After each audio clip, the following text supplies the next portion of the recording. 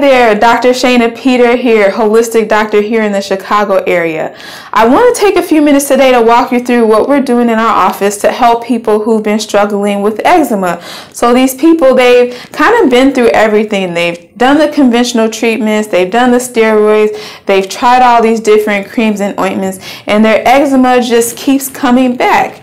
And so with eczema, it's this complex condition that's caused by an imbalance in the immune system. And so that can be caused by a number of factors and the specific root causes can vary from one person to the next. So I got a few tips that I'm going to zero in on with you today that um, when they're addressed, they can really help to get that healing process going. So the first is identifying food triggers.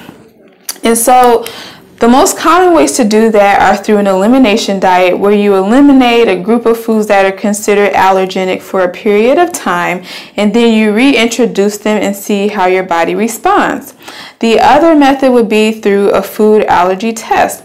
So there's many different types of testing out there. I'm a fan of doing a blood test because you can check for immediate reactions as well as more delayed reactions that are harder to pinpoint. And so what a lot of people find is there's often quote unquote healthy foods that are triggering their um, eczema reaction.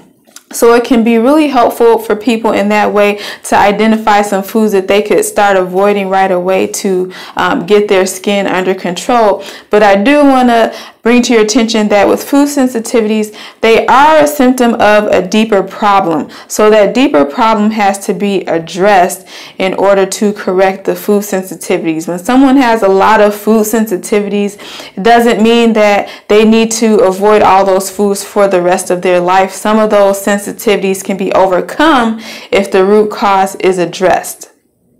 So next we've got assessing digestive health. So we said that eczema is caused by an imbalance in the immune system, right? Well, 70% of your immune system is located in your gut.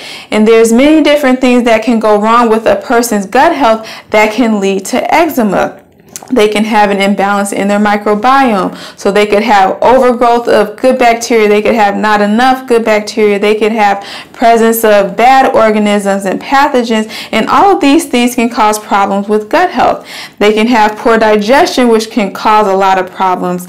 They could have leaky gut syndrome. So we've actually seen a number of cases of people that have had undiagnosed celiac disease. So they were continuing to expose themselves to wheat through their not realizing that they were allergic and it was causing their eczema and causing severe leaky gut. So those are some examples. So the last one that I want to touch on is repairing the skin barrier.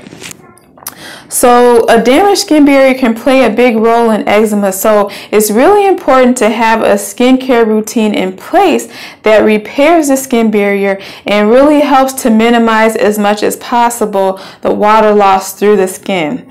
So I hope that you found those tips to be helpful. Hey, if you'd like to schedule a consultation and see if we're a good fit to work together, head over to wellaheadchicago.com. But don't forget to click that subscribe button and hit that bell. We've got lots of great content and I don't want you to miss anything. Until next time, take care and be well.